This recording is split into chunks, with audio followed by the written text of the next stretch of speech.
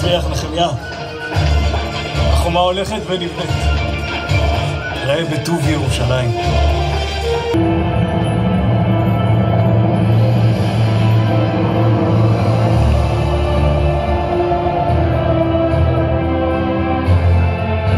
השלמנו את החומה ב-25 לאלול בתוך 52 ימים.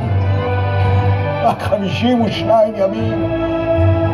ירושלים החרבה שוב הייתה לעיר. מעט אנשים בתוכה, מעט בתים, אבל עיר. וכאשר נבנתה החומה, קראתי למשוררים, לשוערים וללוויים, ותהי שמחה גדולה מאוד. ותשמע שמחת ירושלים מרחוק.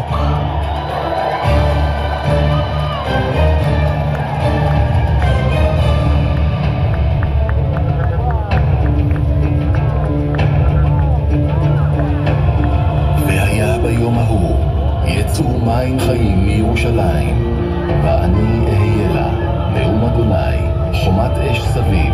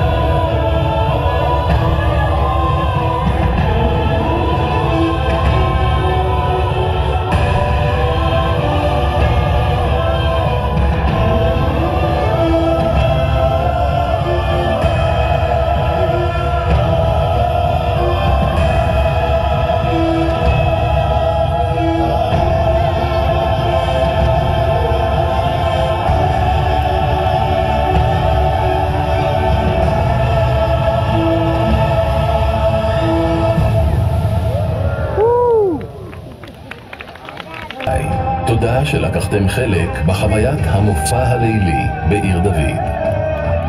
כאן, לפניכם, בראש התל, התגלו שרידים מהחומה, אותה בנו אנשי ירושלים בהנהגת נחמיה.